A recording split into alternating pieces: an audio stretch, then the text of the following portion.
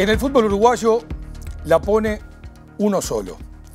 Esa fue la sentencia que nos vendieron como verdad de apuños durante años. El origen, la causa, romper con el oligopolio de la televisión. El negocio ya no sería cosa exclusiva de tres familias, los dueños de los canales privados.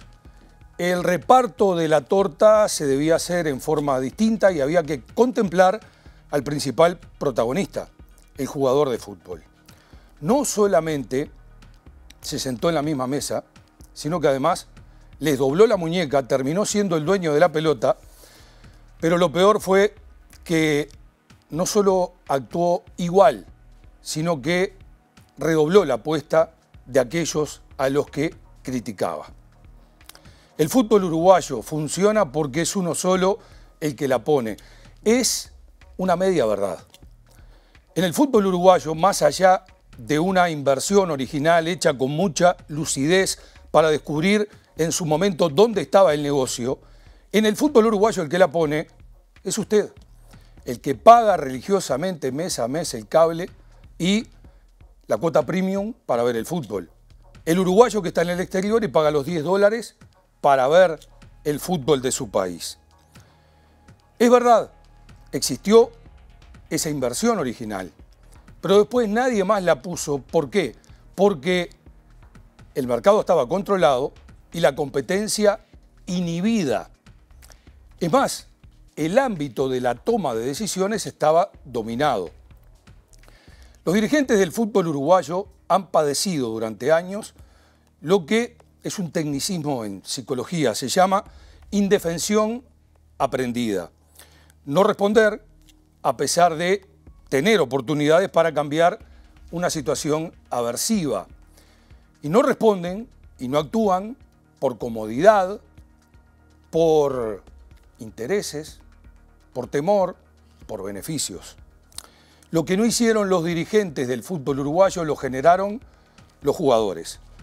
Los jugadores que crecieron, los jugadores que adquirieron valores en el complejo de la selección desde hace una década y poco, los jugadores que viajaron, los jugadores que conocieron otras realidades, los jugadores que compararon, los jugadores que se dieron cuenta que se la estaban jopeando, los jugadores que despertaron, los jugadores que hablaron con voz propia, los jugadores que generaron la revuelta. Es increíble el jugador que era su bandera original se le terminó dando vuelta. Hay un hecho muy significativo en toda esta historia. Los jugadores acercaron una oferta millonaria, el tema de la camiseta. Y ahí apareció otro trastorno que sufre la clase dirigente del fútbol uruguayo. Aquella vez se votaba entre 25 y 5. Había un 500% de diferencia. Y la votación se definió por un solo voto. Discalculia se llama ese tipo de problemas con los números, otro de los trastornos que padece la clase dirigente del fútbol uruguayo. A propósito de, de números, en nombre de las famosas 500 familias, ¿cuántas familias se han visto afectadas a lo largo del tiempo? Hagamos un rápido cálculo, hablando de números. Durante 20 años de control y de dominio en el fútbol uruguayo, han competido por temporada 30 planteles profesionales, entre la A y la B, a razón de 25 jugadores por plantel. Hagamos rápidamente una cuenta. 30 por 20 por 25. Da 15.000. Es un cálculo abuelo de pájaro. Imaginen ustedes la cantidad de dinero que no llegó a todos esos jugadores en la medida que no hubo un reparto justo y equitativo. Y eso dentro de la cancha. Ni les hablo lo que ha pasado fuera de la cancha, donde ha habido gente perseguida, correteada, postergada, limitada. Esa gente y sus familias.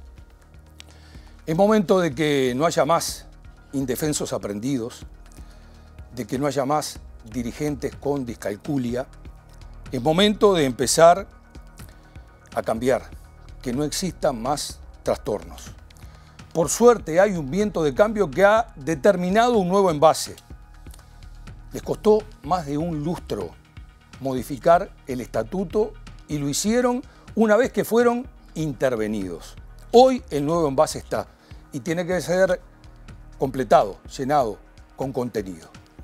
Menuda tarea le espera al nuevo presidente de la Asociación Uruguaya de Fútbol, que es uno de nuestros invitados en vivo esta noche, inaugurando el nuevo ciclo de la Caja Negra, con la presencia de Ignacio Alonso y de Pedro Bordaberry, el presidente de la Comisión Normalizadora que hizo esta etapa de tránsito, de transición para derivar en una nueva estructura del fútbol uruguayo donde es de esperar que el cálculo sea eh, preciso y que el reparto mucho más razonable y equitativo. Es un gusto iniciar esta etapa aquí en TV Ciudad abriendo la caja negra en vivo. Les proponemos una breve pausa y ya venimos aquí en estudios con los invitados.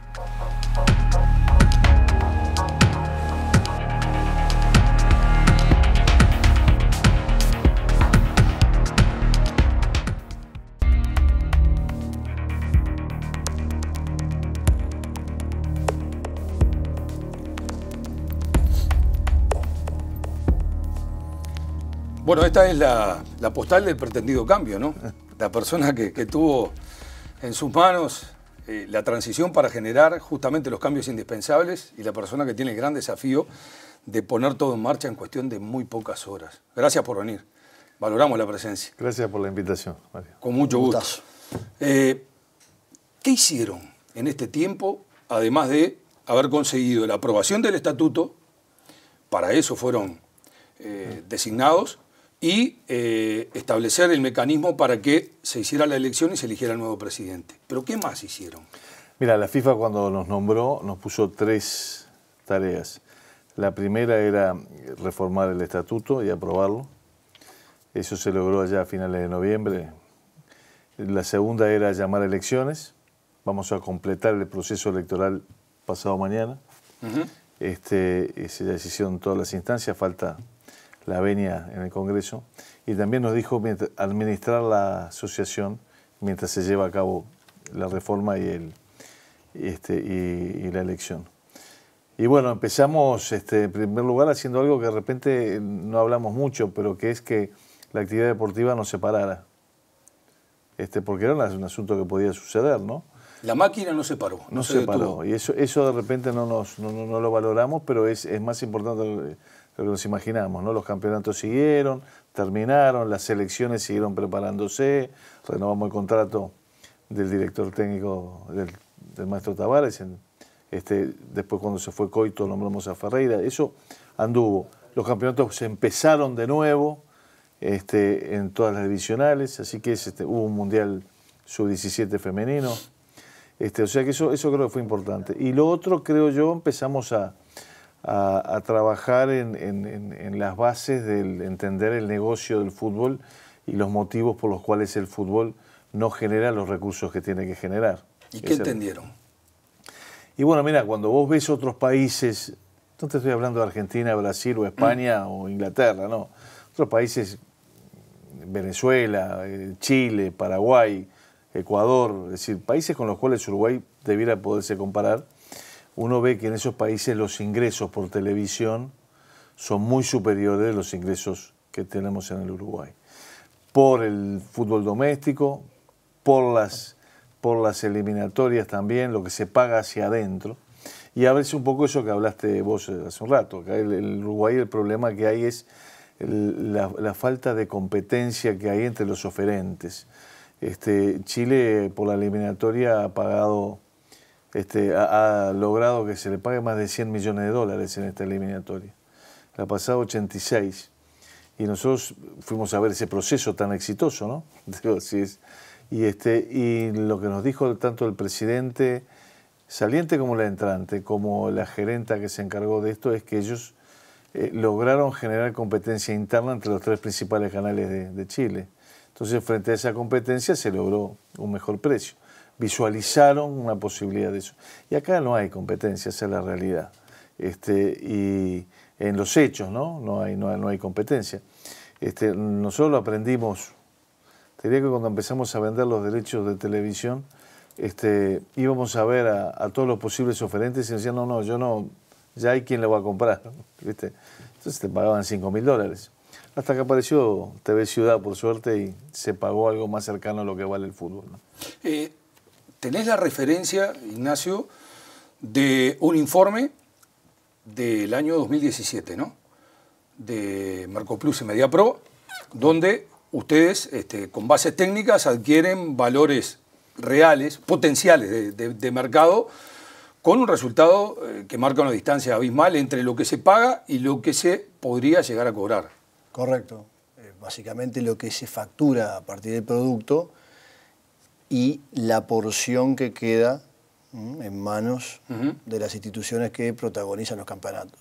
Hay, una, hay un claro desbalance hay una proporción que es muy acotada respecto a lo que es en otros mercados, en otros países, en otras federaciones, y claramente marca que estamos lejos del techo, del potencial que podemos obtener a través de la comercialización de los derechos de televisión del fútbol doméstico, que es muy, muy valioso, es un producto muy valioso, es algo, es el día a día del consumidor, del espectador, del hincha, que lo quiere tener en su casa todos los fines de semana. Podemos bajar este, a tierra algunos números e interactuar, porque sobre la base de, lo actuado y conocido y con las referencias de ese estudio, hoy en día, eh, ¿cuánto recibe anualmente la Asociación Uruguaya de Fútbol por el fútbol uruguayo, la comercialización de esos derechos?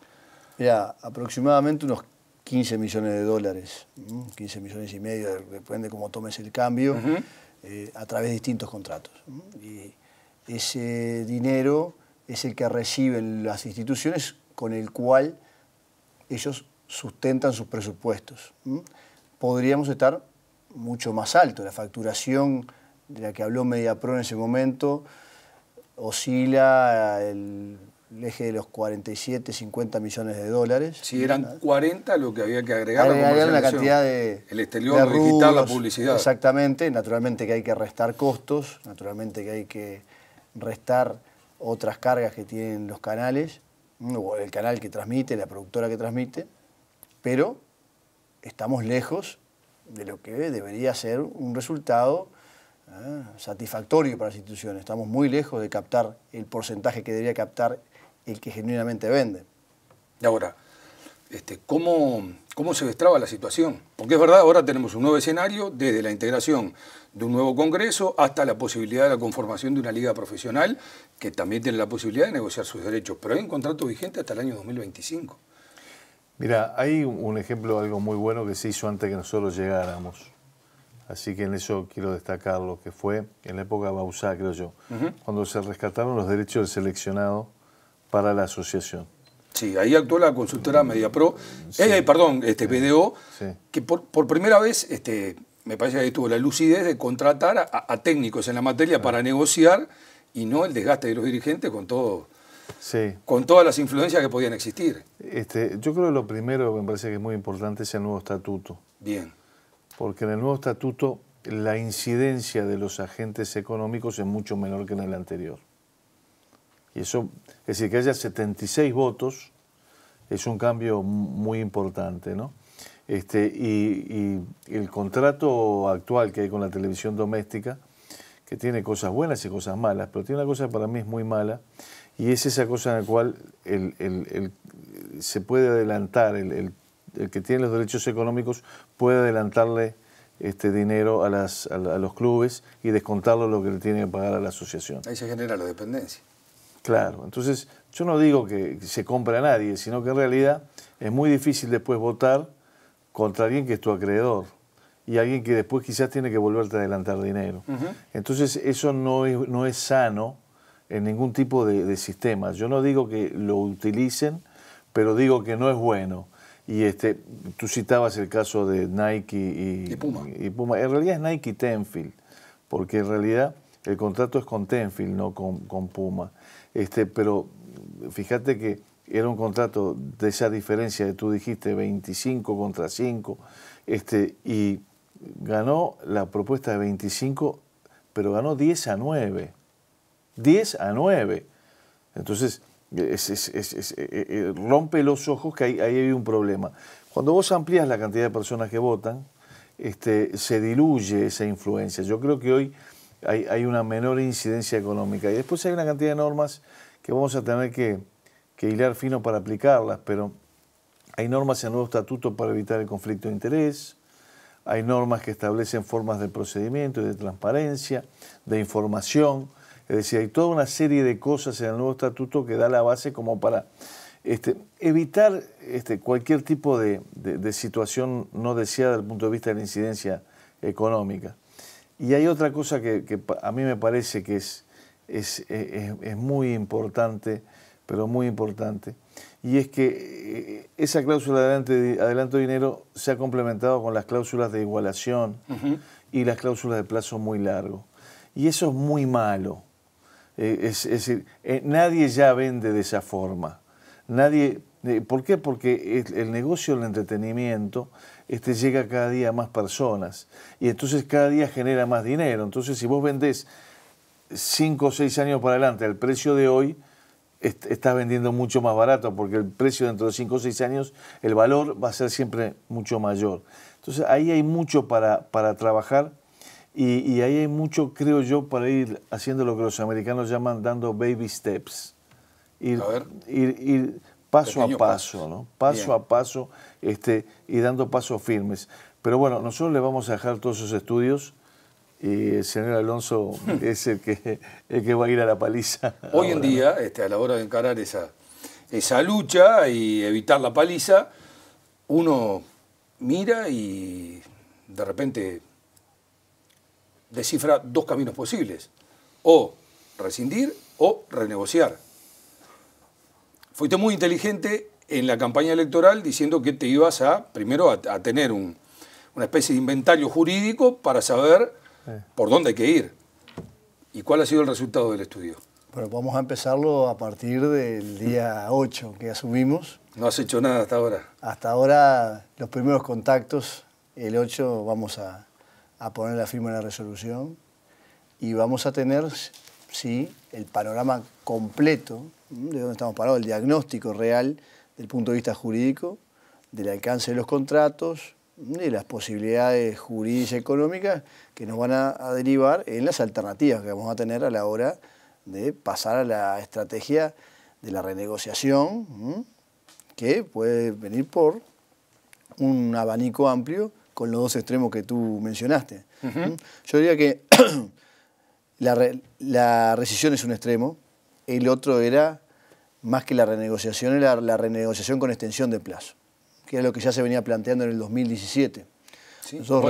hasta hace poco, 2032, se, se, planteaba como posibilidad, lo que implícitamente te está, diciendo también que hay más dinero para entregar, ¿no? Correcto. Eh, es la prueba de que se está pagando poco. Ya en el 2017 se manejaba un contrato mejorado en su precio, en su compensación económica, pero con una extensión importante hasta el 2032, como tú manejabas. Eso creo que no es aceptable, no es aceptable.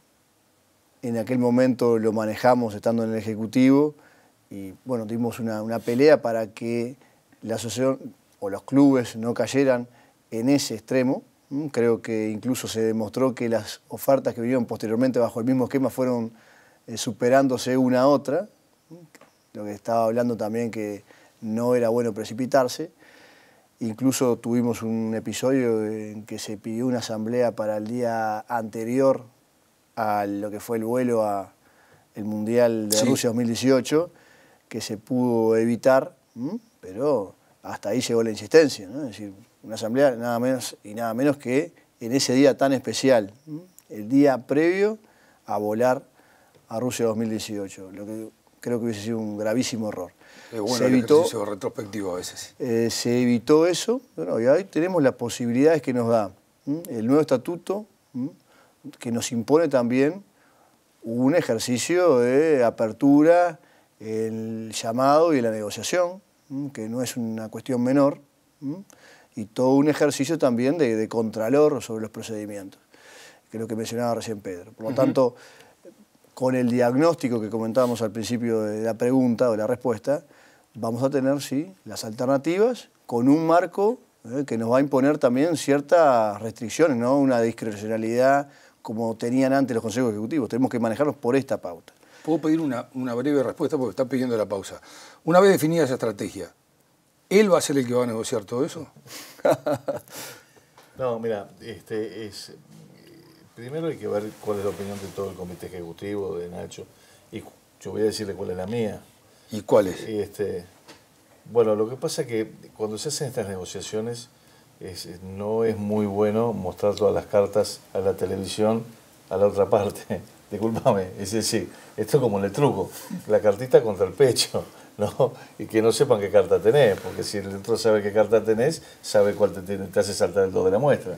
Entonces, este, eso me parece que hay que ser muy cuidadoso, pero sobre todo nosotros, si nos convocan, en realidad nos hemos enterado por la prensa la intención de, Nacho de convocarnos, este, este, eh, si nos convocan, lo primero que tenés que hacer es decir, che, a ver, esta es mi visión, ¿cuál es la de ustedes? A ver si congenian, porque si no es la misma visión, le agradecemos mucho, somos más amigos que nunca, pero, no, vamos a poder trabajar. Por ahora parecen congeniar.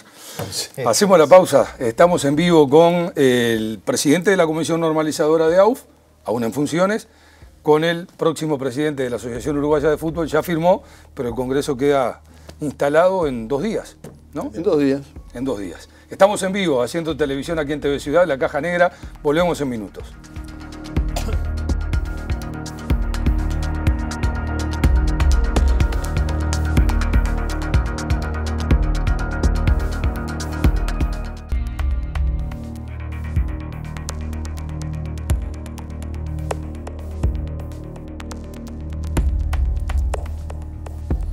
Estamos en vivo en TV Ciudad, acompañados por el presidente de la Comisión Normalizadora de AUF y el flamante presidente de la Asociación Uruguaya de Fútbol. 21, 28, estamos bien, y 29, 21, 29, estamos en vivo haciendo, haciendo televisión. Antes de volver al tema de los derechos, la comercialización, y ahí está la, llave del éxito, mirando hacia el futuro, o al menos de una prosperidad que, el fútbol uruguayo no, ha tenido. Eh, ¿Por qué estuvieron tanto tiempo cuando el plazo original era más abreviado? Mira, en realidad no sé si es tanto tiempo, porque nosotros en tres meses terminamos el trabajo que había llevado seis años. Bien, hicieron mucho, es verdad. Es, ahí. Este, te pongo dos ejemplos. Honduras tiene hace cinco años una comisión normalizadora. Dominicana hace cuatro. Ahora, después que nosotros aprobamos el estatuto, lo aprobó el gobierno, ahí nos perdimos un mes, el mes de diciembre, Después salió en tiempo récord. Salió en tiempo récord, que fue muy bueno. Y después de eso, en enero, empezamos a aprobar los reglamentos para poder hacer la elección.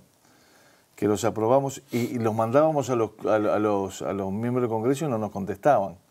Recién los pudimos aprobar en febrero, hicimos la elección del nuevo presidente en marzo, después el presidente se tomó los plazos este, que establece el estatuto para, para este, aceptar, para proponer los otros miembros, Sí, yo creo que se ha hecho todo en, los tiempos mínimos que se podían hacer.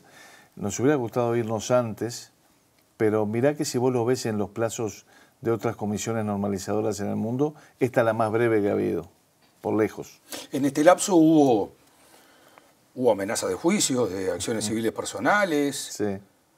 ¿Y cómo, cómo saltar ese obstáculo? Intimaciones. eso es una cosa que uno te aprende a convivir en el fútbol. Yo tengo la suerte que soy abogado. Nos hicieron dos intimaciones personales este, en un estilo de negociación que no es el correcto. Este, en las dos intimaciones, como abogado, yo lo miraba y decía, esto no tiene ningún tipo de, de posibilidad de éxito. Pero estaba con dos compañeros que no son abogados. Yo decía, quédense tranquilos, pero ¿viste? No, es lo mismo. La primera la dejamos pasar, dijimos, no vamos a ir a un conflicto por una cosa menor. La segunda ya no, directamente este, le contestamos la intimación y le intimamos, intimamos que cesaran con las amenazas, este, porque no es la forma de relacionarse esa, esa no es la forma de relacionarse. Este, y eso es algo que es muy malo, es que la gente que, se, que llega al fútbol y le pasa eso, por lo general quiere irse entonces terminás con una selección en contra, ¿viste? Porque si vos encima te vas a meter y te amenazan con cosas personales, decís, che, ¿qué hago yo en el fútbol? Me voy. ¿Para qué? Me voy a mi casa, estoy más tranquilo, voy a la cancha. Sobran ejemplos, ¿no? Es claro. Entonces, sí, sobran muchos. Y mirá que nosotros, este, yo, de entrada, de apenas asumimos, fuimos a buscar a José Luis Corvo, a Sebastián Bausá, y los dos tenían unas experiencias personales muy feas, muy feas. Es más, este, a mí me acuerdo que José Luis me dijo, pero te vas a meter. Mirá que esto es complicado, no solo para vos, para tu familia. Y, este, y, este, sí, es, pero bueno, había que arreglarlo, esa es la verdad. Este, y cuando son desafíos, ¿viste? ¿viste cómo somos los vascos, no? Por las buenas nos sacan todo, por las malas bajamos la cabeza y vamos para adelante. Este, esperemos que esas prácticas de intimaciones personales cesen en el fútbol uruguayo. Y estoy seguro que el nuevo comité ejecutivo que, que está, no solamente Nacho, pero hay, hay abogados de mucho nivel como Colacho Moreno, como Gastón Tealdi, este, este, como, como el propio Fernando Sosa, este, no los van a llevar a intimaciones personales, estoy seguro. ¿no? Hoy eh, se cuestiona tu certificado de idoneidad por, se dice, eh, los clubes que tomaron la, iniciativa de hacer ese cuestionamiento, de mover un mecanismo para... Me dijiste hace pocos días, intentaron voltearme antes de asumir. Sí, fue así, fue así.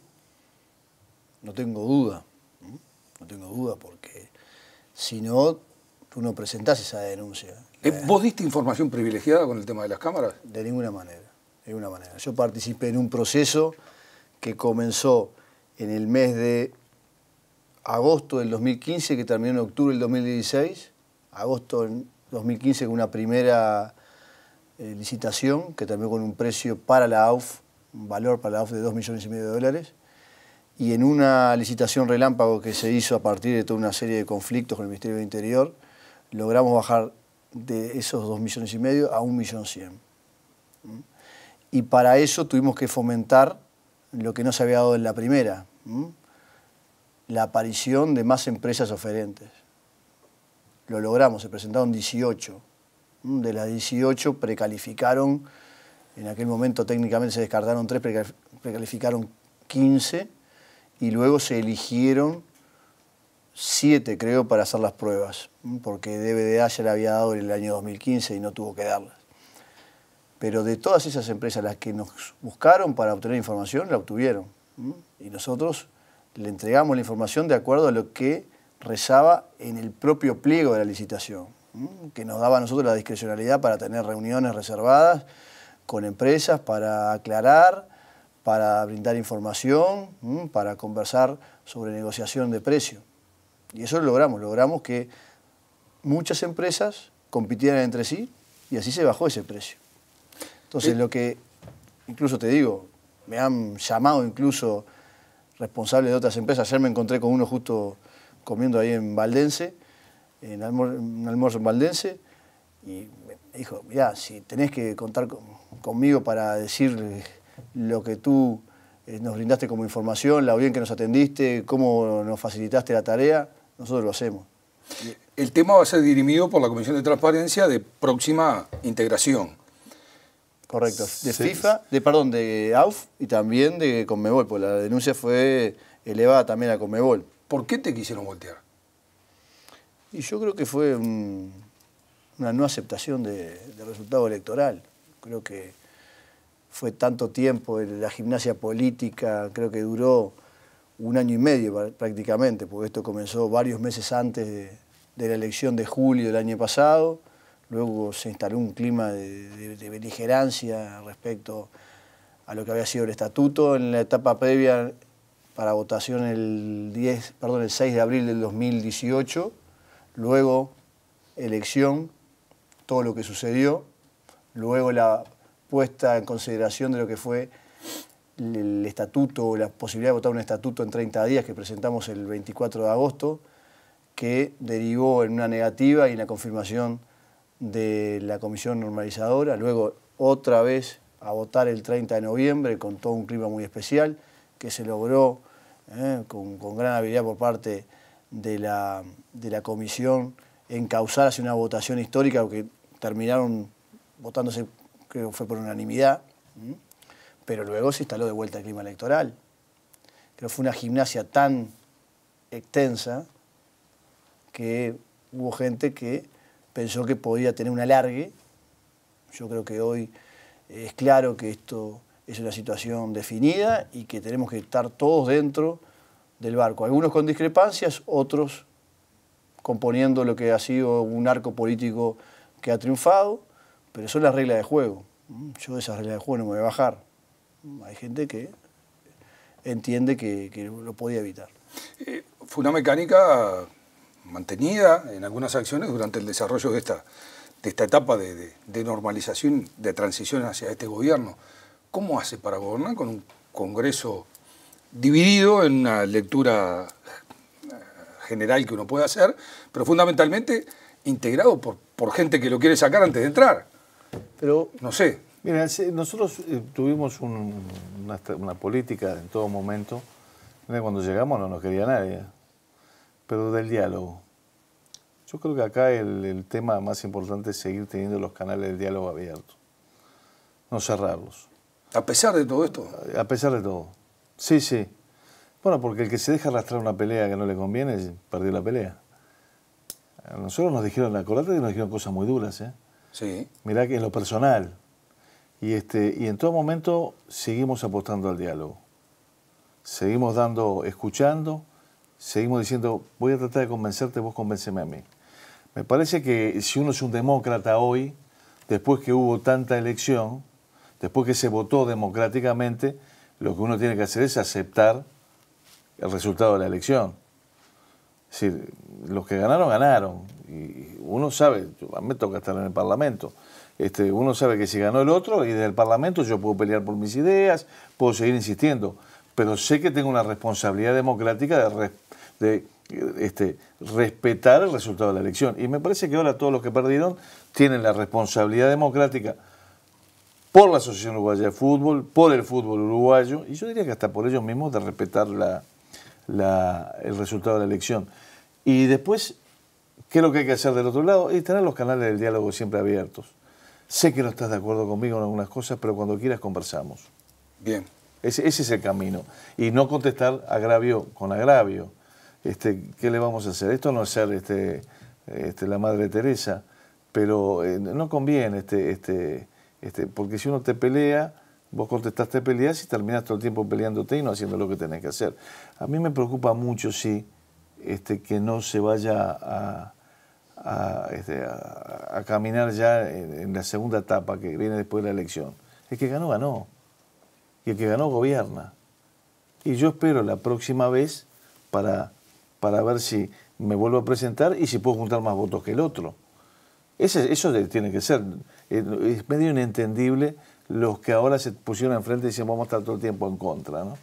Eso me parece que está mal. Hablando de votos, este, y antes de, cerrar este capítulo, ¿qué pasó entre el 38 a 36 y el 40 a 34? 40 a 34. Pero a su vez, ¿qué pasó antes del 38 36? que ahí pasaron cosas también. Era, 44 a 28. ¿Qué pasó?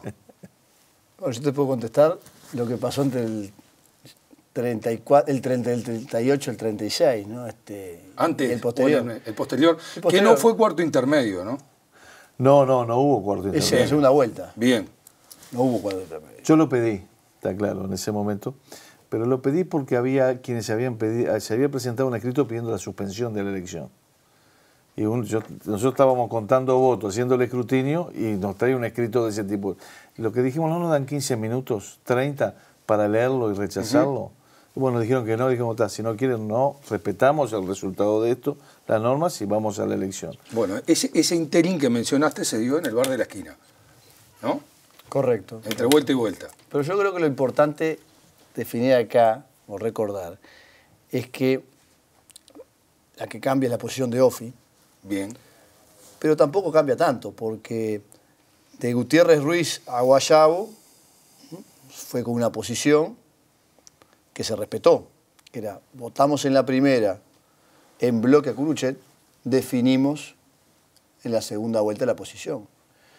Y nosotros conociendo esa definición de OFI, trabajamos para tratar de mantener todos nuestros votos, nuestros votos originales, lo más unidos posible, ¿eh? no, que no, no, tener ninguna fisura, no perder ningún voto y llegar lo más cerca posible ¿eh? del candidato que en ese momento este, nos, nos, enfrentaba, que era Cruchet. Eso se logró y con la fuerza de haber mantenido la unidad del bloque nuestro, pasamos a tratar de convencer a la OFI, que tenía ¿eh? ahí la posición abierta, de que nuestra opción era la, la mejor, creo yo, en lo que es la interpretación histórica de todo este proceso. Nosotros habíamos estado muy cerca de OFI y del fútbol del interior en lo que había sido la lucha por votar el estatuto, por consagrar dentro del estatuto derechos políticos que largamente habían sido eh, peleados por la institución, por la organización, y naturalmente llevan detrás una cantidad de reconocimientos eh, institucionales, económicos, deportivos.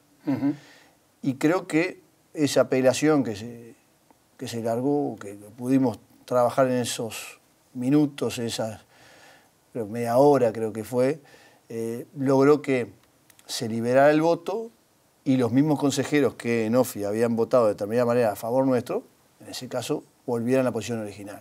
¿eh? Pero... Tenemos que hacer la tanda. Lo que nunca puedo entender es cómo, siendo tan cuestionado el dinero que se invierte en las elecciones uruguayas, tan resistido ese destino, tan atacados los jugadores por algún sector, con su acción participativa y decisiva en estos tiempos que nos tocan, para ganar una elección se hayan ofrecido, además de cargos, dinero a cuenta de lo que generan los propios jugadores. Lo criticás, lo cuestionás y estás ofreciendo 400 mil dólares anuales a cuenta de lo que ellos generan. Mira, a mí lo que me gusta mucho, ahora veo la, foto del maestro Tavares, este, el ejemplo del complejo celeste y el proceso de selecciones.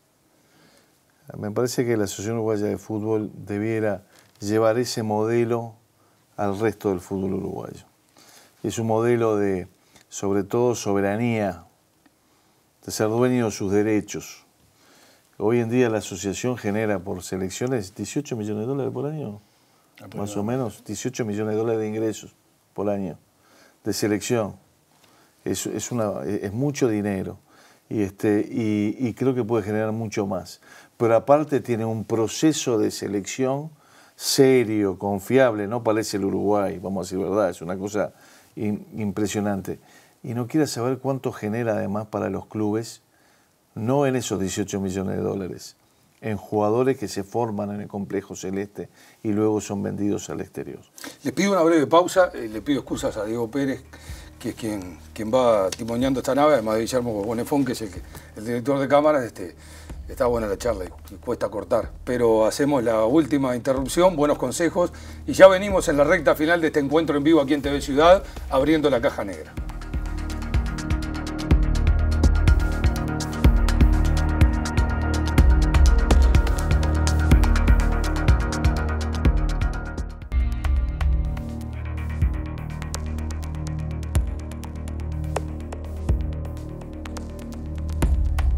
Bueno, recta final de la Caja Negra con Alonso Gordaberry en vivo, agradeciendo desde ya otra vez la, presencia, acompañarnos en la noche de hoy.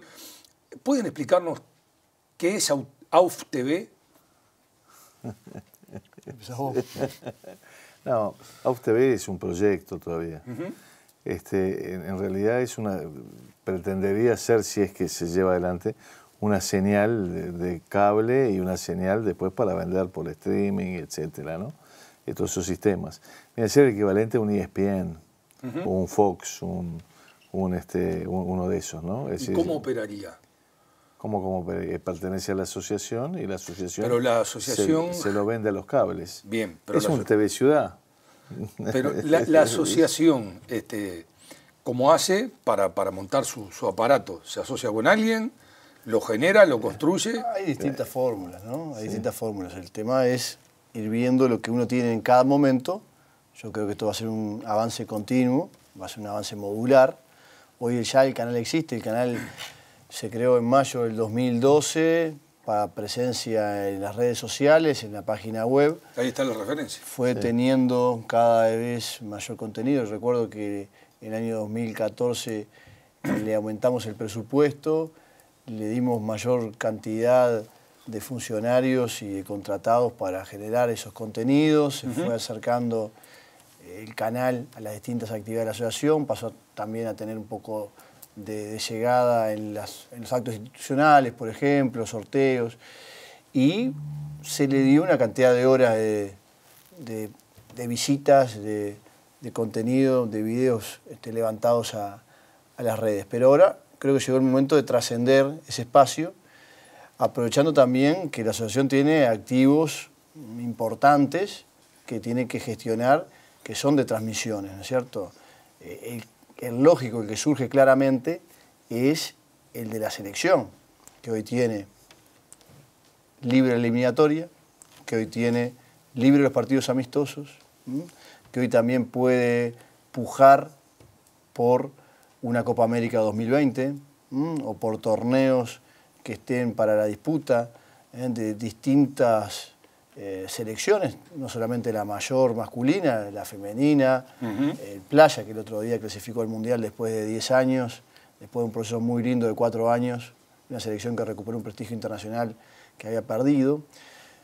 Fue una de tus apuestas. Fútbol sala.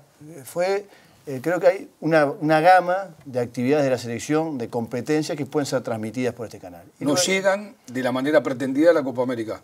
No creo que lleguemos como pretendíamos en la Copa América. Estamos muy sobre la hora, hay una cantidad de, obstáculos eh, de carácter jurídico, técnico que no, vamos a poder sortear, eh, como de repente hubiésemos aspirado, pero tenemos sí una proyección muy importante, muy importante, a partir de lo que son los contenidos básicos de la selección, que también hay que ver en este estudio jurídico otro tipo de, de transmisiones, por eso es muy importante el, estudio jurídico para ver el alcance en, otros rubros, ¿no es cierto? Pero hoy podemos eh, salir a la cancha con esto y luego, a medida que el canal va teniendo un éxito, que la, gente se cuelga, que ve que la transmisión de determinados espectáculos importantes, deseados en tener en su televisor, los tiene a través del canal, ¿eh? generando un recurso, vamos increyendo en horas de transmisión, producción propia. Es toda una etapa que va a venir después. Les, propongo una especie de ping-pong medio rápido, disculpen, por, porque estamos en el final y hay temas de, mucho interés. ¿Cómo, entre los dos, ¿no? ¿Cómo se baja el costo de los espectáculos, los partidos de fútbol uruguayo? Sintonía fina, vinculada básicamente a eh, los costos de seguridad hay alguna cosita que se puede hacer, creo que en este año, pero lo que hay que apostar es a vender más entradas, porque el déficit es el resultado eh, de restar a los ingresos, que es básicamente la venta de entradas, los costos de, los costos de partido. Por lo tanto, eh, damos vueltas, damos vueltas en los costos y nos damos cuenta que estamos vendiendo menos entradas de lo que vendíamos hace 10 años y eso es importante recuperar. ¿Cómo se hace para que los jugadores, perdón, Sí, no, yo creo que ahí hay un tema que el fútbol uruguayo se tiene que plantear en corto plazo y la cantidad de equipos en primera y en segunda división. ¿Reducir? Sí, sí, sí. Acá hay eh, un solo partido de esos que vos decís es nivel de Liga de España, que es Peñarol Nacional, que lleva 40.000 este, personas o 50.000, depende de dónde se juegue. Y este, no puede ser que sea un, la apertura de clausura. El viejo debate ahí es limitar la fuente de trabajo. No, sí, está bien, pero lo, otro es que sea rentable también. Y vos tendrías que tener un campeonato, a mi juicio, ¿no? De dos ruedas, lo, digo, me voy, le dejo el lío ancho, digo, pero este, este, dos ruedas en la, apertura, dos ruedas en la clausura, dos partidos Peñarol Nacional en la primera parte del año, dos partidos Peñarol Nacional en la segunda parte del año, dos partidos con Peñarol Nacional cada club, ¿viste? Este, que es donde también generan ingresos este, ahí debiera este, tener un formato más sensato. Y también más dinero a repartir de la televisión, porque son menos, menos, menos clubes. Este, me parece que eso es ineludible por el tamaño del mercado uruguayo. No, te hablo en términos futbolísticos, te hablo en términos económicos. Este, lo hizo Paraguay, ¿eh? Paraguay lo hizo y, este, y, le va bien. Este, este, no da para, para hoy en el Uruguay. Es decir, Peñarol Nacional tienen el 80% de los uruguayos o más son hinchas de Peñarol Nacional.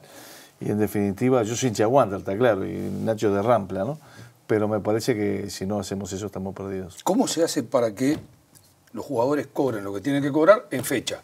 Para que no siga pasando lo que está pasando, para que no existan mecanismos alternativos bicicleteadas y este, el perjudicado es el futbolista. ¿Se va a reformular el estatuto del, jugador? ¿Es posible generar un, un fondo de garantía? Escuché por ahí. ¿Por dónde van? Tenemos que caminar primero hacia el aumento, la mejora de los ingresos de los equipos a través de la venta de los derechos de televisión, que es el ingreso más importante que tienen los equipos. A partir que los ingresos crecen, hay que regular la mecánica de asignación presupuestaria.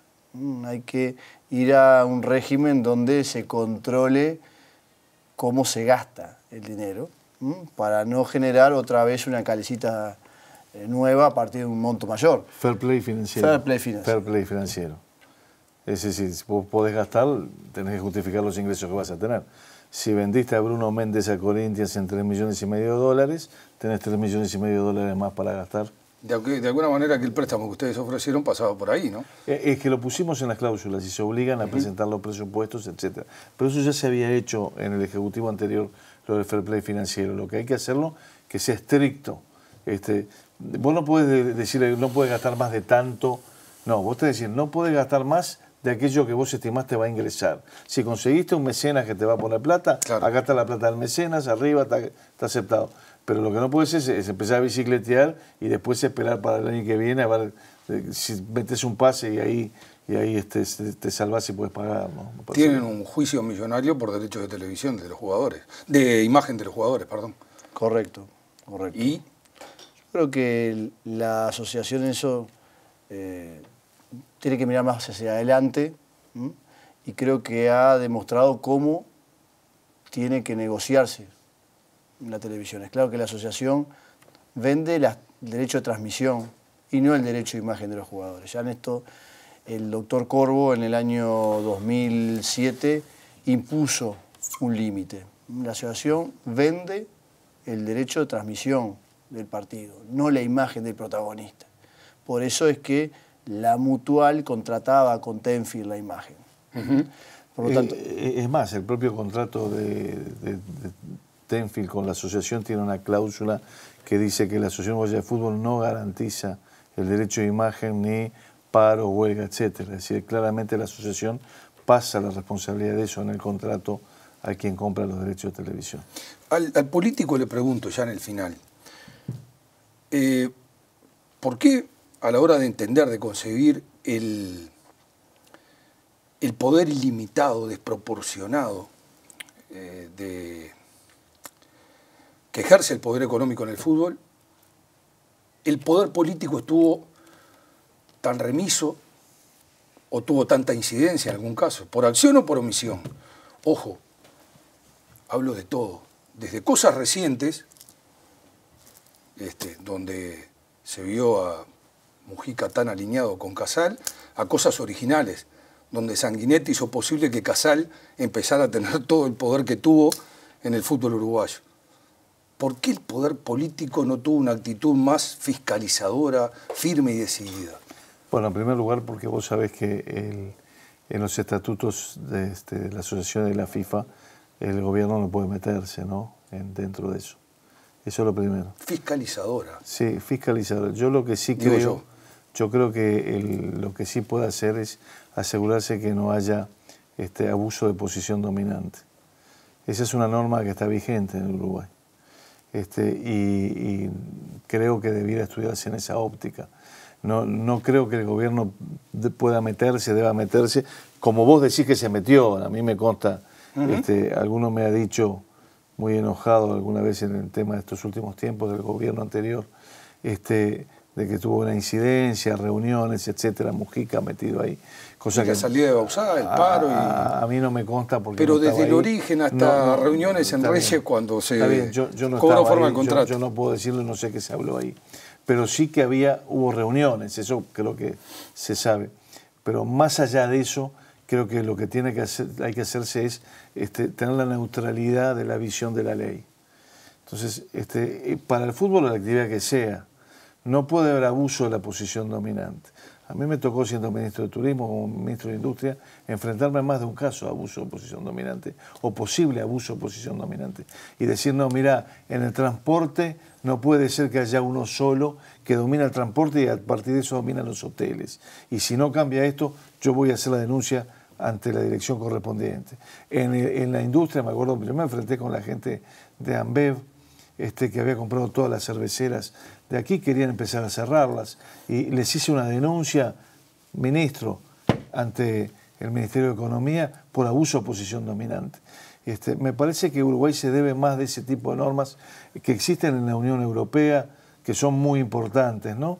Este, le ponen a empresas de primer nivel multas de centenas de millones de dólares si, si no respetan eso.